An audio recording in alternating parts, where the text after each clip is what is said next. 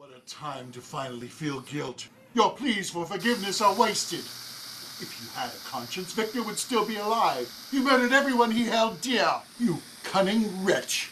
You come here crying over the trouble you've made. Oh, how wonderful it is to a house and cry over its loss. If Victor was still alive, you continue to hunt him and torment him. Do you plan to kill again? I will stop you. Here. Life is not something that you should toy with. He wouldn't hurt a fly. Now would you, Bobby? I just need to tell the police. And I'm afraid there'll always be people like you, Sarah. People who cannot be trusted to keep our secret. Isn't that right, Mr. Chucklebones? Listen, officer. Inspector. Inspector Abner Fox. Keep your dirty money. To the body. That corpse was evidence in the police investigation.